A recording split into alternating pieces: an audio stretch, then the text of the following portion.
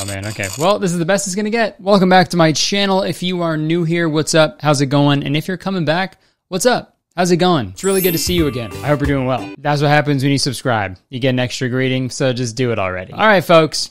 Dating shows. You know, dating shows, when you date a show. I loved dating shows. I watched them all the time when I was a kid, even though I was way too young to be dating anybody and I didn't know what dating was or really how you do it. But I had cable TV and nothing else to do. And I've made a few videos in the past about dating shows from the early 2000s, like Keys to the VIP, Chains of Love. I think the reason I love dating shows from the early 2000s is because like that era was the golden age of bad television. And it was all MTV's fault. There was nobody else to blame. My good buddy Drew made a really funny video about the MTV show Ghosted a few weeks ago. And uh, that show right there is like a perfect example of MTV like still trying to hold on to their like early 2000s dating show success. I swear, any premise that could possibly be turned into a dating show, MTV would make 30 seasons of it and I'd watch every episode. Just some examples. You had parental control, where the contestants' parents try to find a new romantic partner for their child because they hate their child's current partner. What's another one?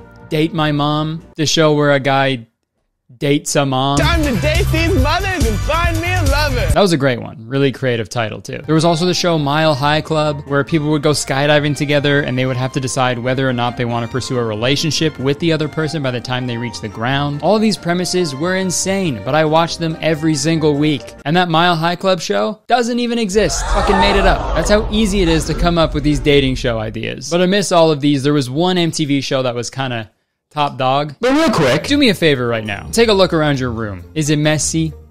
Dirty, even? Do you have embarrassing, gross items kind of just everywhere because you've spent the last year of your life living in that same room because of a deadly virus? Yeah, probably. And that's fine. I don't care. I'm not your mom. No one's gonna date me today. Time to date these mothers. But now, do me a favor. Imagine just a random person walking into your room, rummaging through all your shit and sort of sort of making fun of you in the process. And you have to watch them do this from another location. And also, it's broadcasted all across the country. And oh yeah, then you have to go on a date with the person that just rummaged through all your crap. Does that sound like a good idea? Well, MTV thought it did because that is the exact premise of the early 2000s dating show Room Raiders. The show ran from 2003 to 2009. The first episode was actually branded as Dorm Raiders and was hosted by the most 2003 couple of all time, Nick Lachey and Jessica Simpson. This is Dorm Raiders. They ran from 2002 to 2006, so Room Raiders uh, lasted longer than their marriage. This is Divorce. Room Raiders also had an episode starring the king,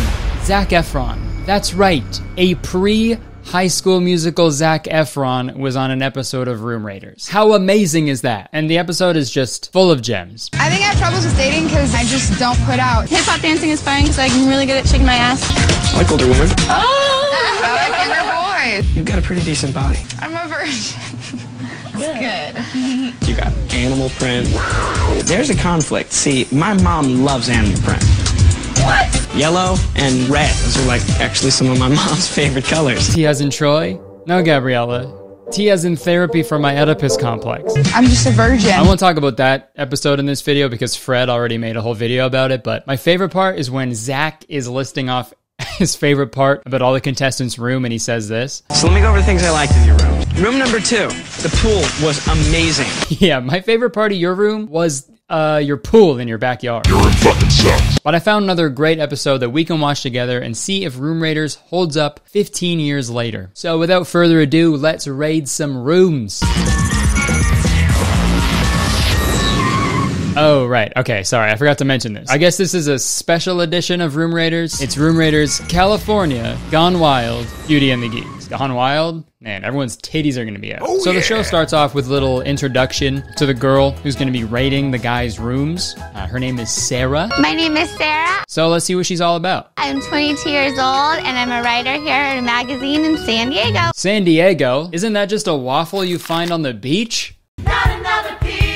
Not another piece. So I got HSM on the brain. Sorry, folks. I like to go to the beach as much as I can, lay out and catch some rays. Okay, Sarah seems really nice. She's uh she's ambitious, she's driven, and she only really wants two things in a guy. And, and it's these two fingers. She wants these two fingers and a guy. Top two turn-ons are someone who is intelligent, and the jawline is a huge thing for me. Honestly, dude, I can't even disagree with that. I have neither of those things. Oh, well, that's not bad. I am a dumbass though. Straight up, if you can find a man who understands molecular structure and jaw structure, game over, dude. You better get down on one knee and suck him off. He's the perfect man. All right, so we met the beauty. Now it's time we meet the geeks. Let's meet these friggin' dweebs. Geek number one, his name is Kenneth. He's a little goofy. He likes dancing, and he also likes grass. Over the years, I've sort of accumulated a fascination with different types of grasses. Maybe a little, well, not maybe. He likes grass too much. You know when someone's being horny online, and then people are like, "Go outside, touch some grass," you know? Do not say that to Kenneth. You cannot say that to Kenneth. He's a grass man. All right, there's Kenneth. Who do we got for geek number two? My name's Caleb. I'm 19 and I'm a student at San Diego State University. I do a really good dinosaur impression. It's what I'm most famous for. And I do a pretty good Napoleon Dynamite impression. Can you guys give me some chapstick from MTV? That'd be sweet. Caleb is awesome. Uh, here's my impression of Caleb. Uh, good. It was a good impression. I like it. A fun date to go on for me would be Lord of the Rings because that's the best movie ever. Did he just say his ideal date was Lord of the Rings? A fun date to go on for me would be Lord of the Rings. He didn't even say watching Lord of the Rings. He said Lord of the Rings. Yeah. I don't know how that would go, dude. Yo, what are you doing later? Maybe you can come over and we can, uh, Lord of the Rings. Like, watch Lord of the Rings? No, no, no, no. Lord of the Rings. Okay, I'm not sure if I follow. Come on, you know, Fellowship, Two Towers, Return of the King. Yeah, yeah, I've seen the movies. Okay, perfect. So yeah, all of all of that. Okay, whatever. How about instead we watch that movie based on the novel Push by Sapphire? What's it uh what's it called? All right, and for geek number 3 we got Dane. He's a vegetarian skater boy, and I know what you're thinking, that's not typically geeky, but he wears glasses, so you know what that means. Born with poor vision? Fucking loser. also, dude, it is so 2005 to call someone a geek. Geek is the most 2005 insult next to like biatch or something. And I honestly feel bad for these guys. Imagine how shitty it was when they found out that they were gonna be on this episode. Oh. Hello? Hello, is this uh is this Kurtis? Yes, this is he. All right, just wanted to call and let you know that you've been selected for the MTV show. Oh my god. Oh my god, that's amazing. And that's not all. This is Room Raiders, California, Gone Wild, Beauty and the Geeks. Oh, cool. That's that's awesome. Yeah, we're really excited. So yeah, congratulations. Thanks. Yeah, thank you. Uh, hey, quick question. Yeah. Uh, am am am I the beauty or? What? No. Oh no. Oh God, no. We picked a, a beautiful girl to be the beauty. You idiot. You're a geek. You're a fucking loser, man. You're the biggest geek I've ever seen. Look at yourself, man. You're disgusting. You're a mean. loser. How dare you say this to me? I don't care. All right, Alright, you know what? know- Enough. I don't really know if Here, I want to do this. some of this. Oh, what the hell? Yeah, you like that? Come What the on. hell? How'd you give me a wet willy through the phone? Not important. whoa, Come here. You're coming with me, Kurtis. You thought the wet willy was bad? It's gonna get a whole lot worse, buddy. You're getting a swirly.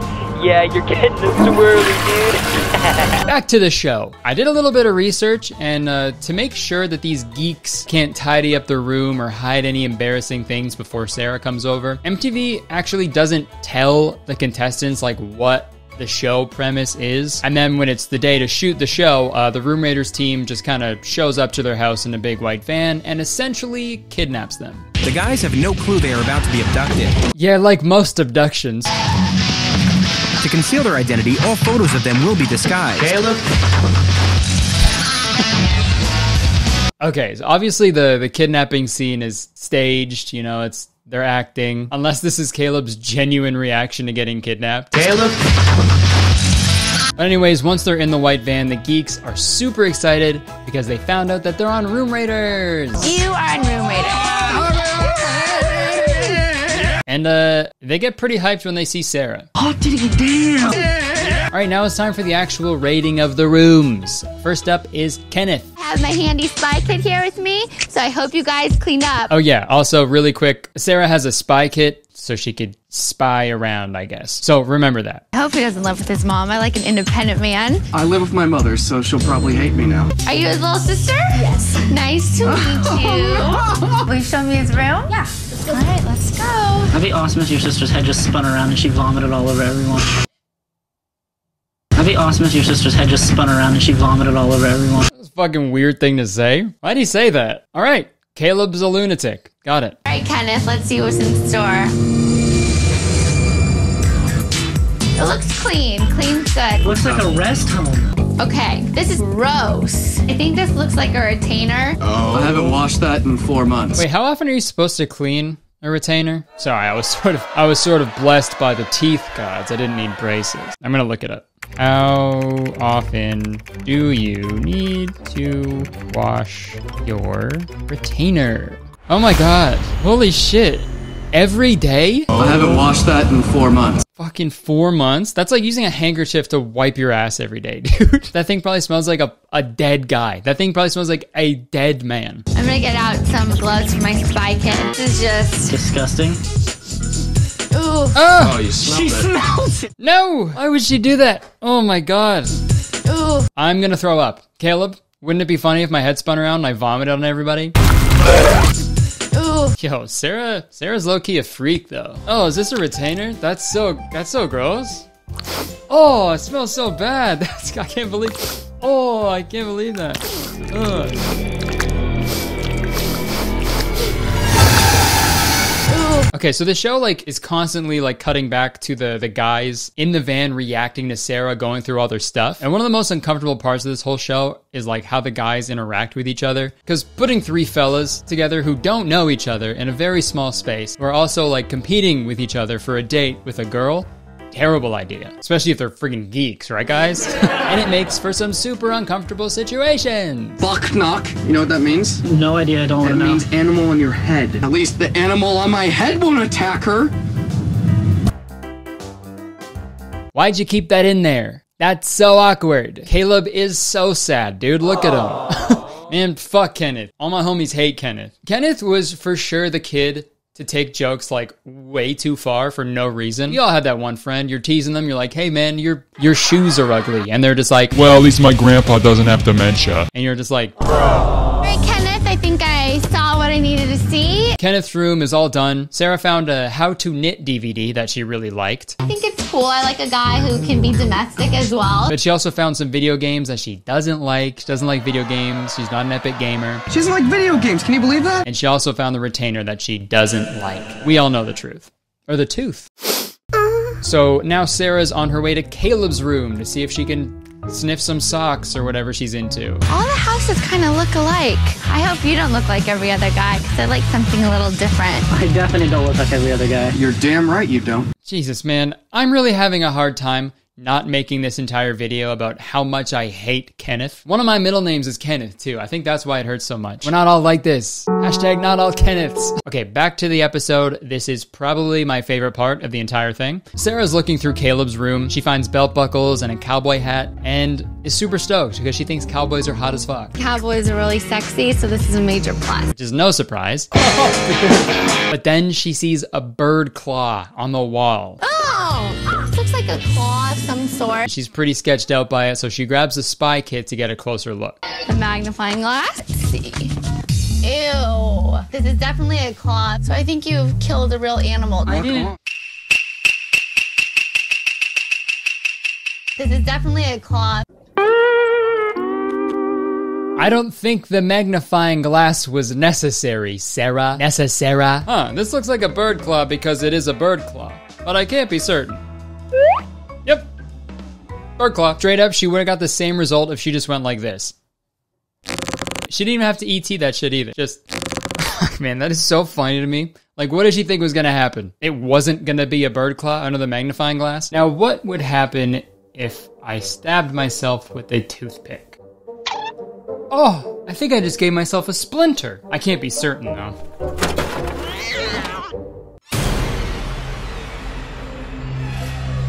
Wait, what the fuck? Okay. Kurtis, it's me. I'm you from the future, okay? I don't have much time.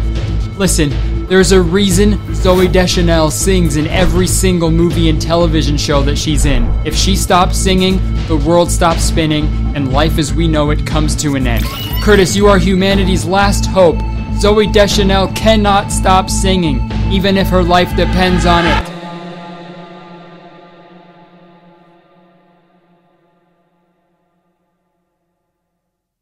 At least it's not a bird claw. At least it's not a bird claw. We'll be right back after this YouTube video. Okay, so after Sarah realizes that it's in fact a bird claw, she gets immediately put off because she just assumes that Caleb killed this bird and is keeping the claw as a trophy. I mean, it wouldn't be a very good trophy if you have to use a magnifying glass to see it correctly, but I digress. I just got done searching room number two, and I really like the cowboy hat and the belt buckles. It makes me think that he's a cowboy, and cowboys are so sexy. And I didn't like the bird claw that I found. I thought that was kind of creepy. And I hope he doesn't kill birds because I'm not into violence. Okay, so she said she likes cowboys but doesn't like boys who are violent. Uh-huh. Do you know what cowboys are? Have you played Red Dead Redemption? Probably not. You don't like video games. Saying you like cowboys who aren't violent is like saying you're attracted to boys who collect Funko Pops and also use deodorant. Sorry to break it to you, Sarah. That boy does not exist. But I think that wall claw perfectly illustrates the main like issue with this show, I guess, which I guess makes it interesting. You know, it just like forces people to assume stuff because there's no context given or anything. And they're obviously not expecting a girl to be rummaging through their shit. And also, single guys' rooms are fucked. They're insane. They're like portals into another dimension, dude. Single guys' bedroom doors are basically nether portals from Minecraft. As soon as you walk in, everything just sort of feels off. There's things in there you don't usually see in the real world. It's dangerous, scary, and you only go in there to get what you need and get the fuck out as fast as possible. And I can say that because I used to live in a single guy's bedroom. It was mine. It was mine when I was a single guy. It was a weird way to say that. okay, anyways, Sarah's all done with Caleb's room now. So now she's heading on to the final geek, Dane. He's going into the, the danger zone. Doesn't feel as like homey or residential. Just gonna realize I don't live with my mom right now. Uh, I'm sorry that you don't get home cooked meals every night. I'm sorry I cook my own home cooked meal. Tell him, Dane. I gotta say, this is a little weird because your room's not even in the house, so I don't know what this is all about. Whoa, okay, I kind of feel like I'm in a cellar. All right. I know Sarah, she's trying her best. She's actually being like really sweet compared to the other uh, people I've seen on this show. But she said earlier that she didn't like how Kenneth lives with his mom or that Caleb's house looks like all the other houses on the block. I hope he doesn't live with his mom. I like an independent man. All the houses kind of look alike. But when she actually gets to someone's house where he lives, he has his own space and it looks different from like typical suburban houses. She's just like, uh, I don't know about all this. Your room isn't even in the house. It's in the basement and that's not the house. And also, it's so small. I need to pull out my magnifying glass to see this fucking room. Oh my goodness. What is this beast? That's the ugly jacket. The two most horrible fabrics are combined flannel and a jean vest. That jacket goes hard, dude. You can sell it on Depop for fucking $500 for sure. And have a dumb name like vintage fucking vintage vintage grandpa fucking swag sweater original buy this bitch now Let's do a little dust test. Oh no. Oh, Dane. Didn't your mother teach you oh. better? yeah that's the dust is pretty gross but i feel like it could be way grosser you know like i know why they didn't do this but it's a really good thing the producers didn't put like one of those like blue light things in the spy kit that like detects bodily fluids because whoa dude that would be a nightmare all right this is the best room yet he's got nice furniture really expensive clothes he's got a master's degree on the wall the place is spotless I think this is the perfect guy. All right, now I just got to use the blue light thing. Uh, I don't know, it's a formality. The producers want me to do it, so. All right, uh, hit the lights, guys. Okay. All right, this is looking pretty good. Everything is the same color. I'm not seeing any stains. This is awesome. Okay, I was right. This guy is perfect. I think me and him are gonna hit it. Sorry, guys. My my hand stuck to the couch. It seems to be a, a sticky substance on, on sort of everything in this room. I, how can this be? I didn't see any bodily fluids, um, unless it's.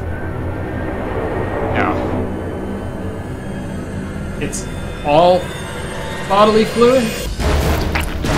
My feet are stuck. Oh! Ew! All right, so there are all the boys' rooms. She liked some stuff. She hated some stuff. Into three crazy rooms, and I really have a tough decision to make. And you know what? So far, I'm gunning for Dane, you know, or Caleb, just as long as it's not Kenneth. I don't like Kenneth. But guys, this next part, it's pretty epic. Now it's time for the geeks to get revenge. That's right, now they get to raid Sarah's room. Oh no! She wears them. These are the sticky ones. Oh my lord. Arr, matey, you be a boobier than that. Okay, for some reason this seems way creepier than Sarah going through all their stuff. I don't know what was going on in the early 2000s, but panty raids were kind of like just a thing that was just kind of accepted by everybody. Like there was even a SpongeBob episode about going on a panty raid. Panty raid. Stealing chicks' underpants. Yo, dude, I went to Rebecca's last night for a house party. Snuck into her room, stole her underpants, rubbed them all over. it was sick. Yeah, she probably farted in those and stuff. It's so hot. Yeah, it's super normal and not weird. Yeah. Yeah, my eye's kind of itchy though for some reason. This is bathing suit mania. What is this, man? It's padded crap. I don't like a girl that's trying to fake something. Oh man. All right, Kenneth. All right, man. I don't think you're in a position to be critiquing anybody. You are dressed like you're a backup trumpet player in a ska band. Okay, so while they're digging through all of Sarah's bikinis, uh, Sarah actually comes back, and now it's time for her to pick who she wants to go on a date with. One of the rooms, I found a lot of dirt, and as you can see, I like to live in a clean space. So, room number three, I have to say goodbye. Pouring out for Dane, y'all. The only kind of normal guy there. Oh, Dane, it's so nice to meet you. Alright, it's for the best. I might be a little dirty. All right, guys, I only can pick one of you. I swear to God, if she sends Caleb home, I'm gonna go sicko mode, and you, and you will not like me when I go sicko mode. So in one room, I found a bird claw, and it was kind of creepy, and it makes me think that maybe it was a dead animal that one of you guys shot. So I'm gonna have to say goodbye to room number two. That's me. No fucking way, dude. No. Hi, Sarah. Thank you. Actually, I found it on the ground. He said that so confidently. That's never a good explanation for anything, Caleb. Actually, I found it on the ground. So who's the idiot now? All right. Well, I found that you had a lot of like video games in your room. I don't really know too much about video games. I can definitely teach you. Well, good, because I, uh, I have an old school Nintendo downstairs. Original NES. Original NES. You want to play? Yeah, no doubt. She just said that she doesn't like video games. Seems like he's still cutting into that video game thing, which I don't like. Sarah, what do you want? Idiots. All right, well, I guess that's fucking Room Raiders. Uh, Kenneth won for some reason, so now they go and spend quality time together. And dude, I want to give them the benefit of the doubt, but I just know for a fact that as soon as they like wrapped, Kenneth and Sarah never talked to each other ever again. I'm not saying Sarah is shallow by any means. I'm saying Kenneth is terrible. And I doubt any real long time relationships like started on this show because whoa, what a god awful way to meet someone. but unfortunately, it does make for some like really entertaining television. And I did a little bit of research, and for the most part, the rooms like weren't staged or anything, or like they didn't plant anything to you know make things extra gross. So that's good. It was like as real as you could get in a reality show, which I feel like is pretty rare these days. But apparently, when they kidnap the contestants and they're like watching the girl go through all their stuff in real time. It's not actually in real time. The rating happened the day before and they're just reacting to it, which, you know, makes sense logistically, but it still hurts a bit. We were lied to. We were punked. So, MTV, I think I need to pursue legal action. All right? I hope you have a lawyer on retainer. That's like if I told you that I'm really a 66 year old man and I'm just editing together videos that I filmed 40 years ago. And that's, and that's just not true. I'm 26 years old currently in 2021.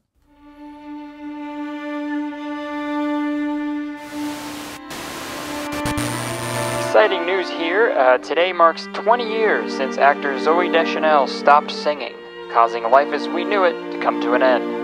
Later today, World President Jeff Bezos will meet with VP Joe Rogan to announce their plans to make everybody else in the world completely bald.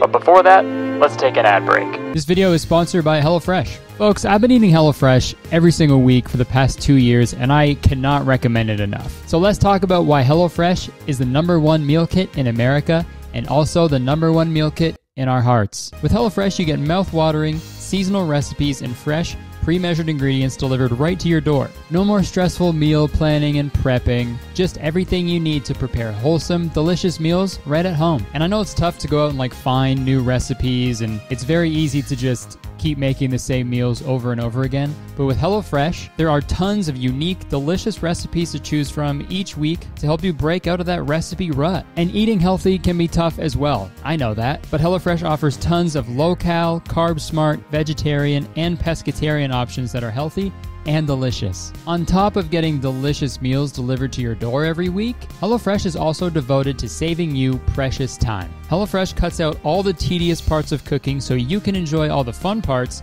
and get dinner on the table in just about 30 minutes, or even 20 minutes with their quick and easy options. Dude, I could go all day. HelloFresh also helps you eat more sustainably. Their pre portioned ingredients mean there's less prep for you and less wasted food. And HelloFresh's carbon footprint is 25% lower than that of meals made from store bought groceries. But my favorite thing about HelloFresh is their flexibility. They make it incredibly easy to add a meal to your weekly order, change your delivery date, skip a week altogether, or add in delicious meal complements like their best selling garlic bread that we get like literally every week because it's so good. Oh my gosh, all of this can be done easily on the HelloFresh app. And guess what? The folks over at HelloFresh are hooking you guys up with a great deal. Just go to HelloFresh.com and use code KurtisTown12 for 12 free meals, including free shipping. So yeah, go give them a try. I promise you won't regret it. And it also helps me out a bunch when you check out the sponsors. So everybody wins here. All right, thank you so much to HelloFresh for sponsoring yet another one of my videos. Back to me. All right, well, thank you so much for watching. Hope you enjoyed it. Uh, press the like button because one like equals one bird's claw. Leave a comment. Let me know what you thought of the video. Let me know if you want me to do more videos about uh, early 2000s dating shows, even though I'm going to press the subscribe button um, because as soon as you do, you become a valued citizen of Kurtistown. If you didn't know, Kurtistown is the best place to live in the world, and I'm the mayor. Uh, so you have to be nice to me. It is the law. You can check the description for the other things I do. Weekly podcast called Very Really Good. My gaming channel, Kurtis Pogger. I'm on Twitch every week, twice a week. Um, Instagram, Twitter, all that fun stuff. Also, thank you so much for 3 million subscribers. Uh, that's fucking insane and I never thought that I would that would ever happen to me. It's still crazy that you guys are, you know, show so much support all the time for whatever I'm doing and I truly seriously cannot thank you enough. I love what I do. I love that you like what I'm doing and uh yeah, it's a dream come true. So seriously from the bottom of my heart and the hot bottom of my fart, thank you so much. All right, coming up next is At Least It's Not a Bird Claw. See ya.